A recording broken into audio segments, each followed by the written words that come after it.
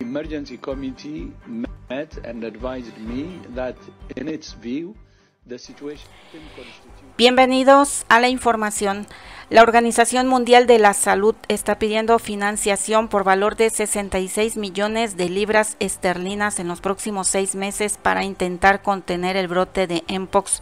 La organización dice que el dinero se utilizará para trabajar con países socios y partes interesadas para ayudar a detener la propagación de la enfermedad.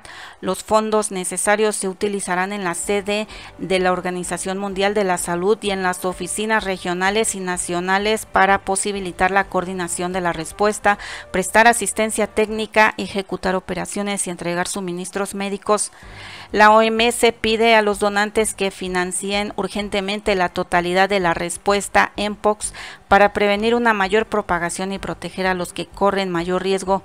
La MPOX, anteriormente conocida como viruela del mono, es una enfermedad infecciosa que causa erupciones dolorosas, fiebre, dolores de cabeza, dolores musculares, fatiga y ganglios linfáticos agrandados. La mayoría de las personas que padecen esta enfermedad se recuperan, pero esta les provoca graves enfermedades.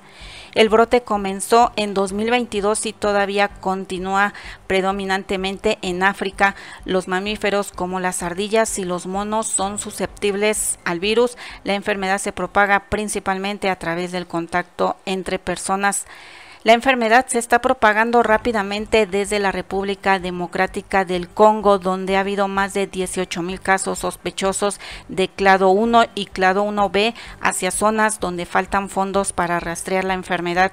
El Ministerio de Sanidad español anunció el martes que donará 500 mil vacunas en POX a los países de África Central que experimentan un aumento de casos como un esfuerzo conjunto con otros estados para contener la propagación de la enfermedad de forma firme. No te pierdas las actualizaciones, suscríbete y comparte este video.